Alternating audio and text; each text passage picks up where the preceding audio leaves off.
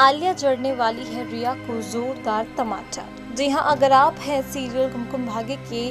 Daily viewer तो तैयार हो जाइए हाई वोल्टेज मरू ड्रामा देखने के लिए, जहाँ पर आलिया जिस शख्स का साथ दे रही थी, यानी कि रिया, वही अब उसके अगेंस्ट हो गई है और उसका पूरा खेल पलटने के लिए बिल्कुल तैयार बैठी है। दरअसल रिया, जहाँ अपने लालच के लिए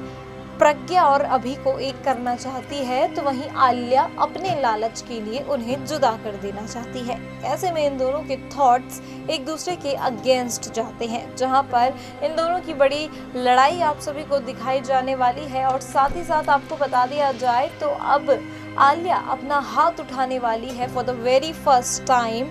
Riya पर। अब देखना इंटरेस्टिंग होने वाला है कि क्या रिया सच में आलिया के पूरी तरह से पूरी कहानी में अगेंस्ट खड़ी हुई नज़र आएगी, या फिर फिर से अपनी चिपली बातों में फंसा कर आलिया कर लेगी रिया को अपने कब्जे पर।